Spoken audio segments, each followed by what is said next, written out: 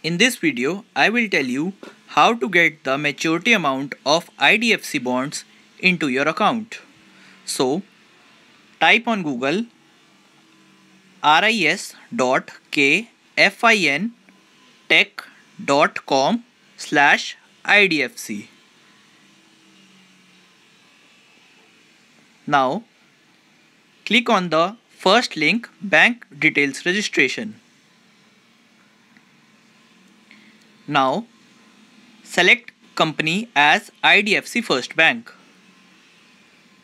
Now select physical bonds.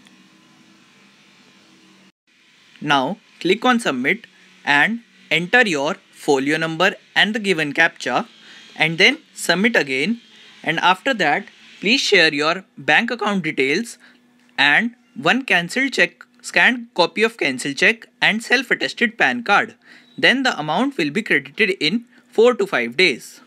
Thank you.